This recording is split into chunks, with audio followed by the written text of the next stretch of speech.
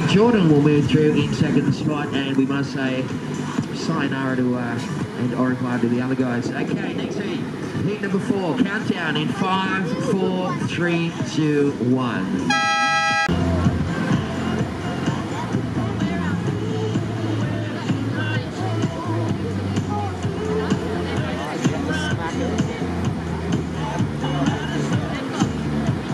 Right, Noah Clifford zeroes into that little section, gives it a bit of a tap. Noah Clifford. Well, this is him using up his priority. Also snap in the pocket, so not a lot of room to move out here today. Make that, make that. Oh.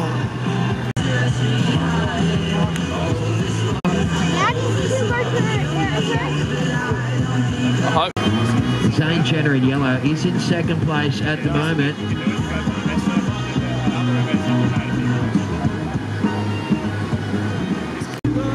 A top bloke. Get of up. Charger himself. So uh, Cannon's just coming off a win in a big tournament in, uh, in America where he took out uh, a whole open field and scored a perfect 10 on one of his waves. So he's been on fire.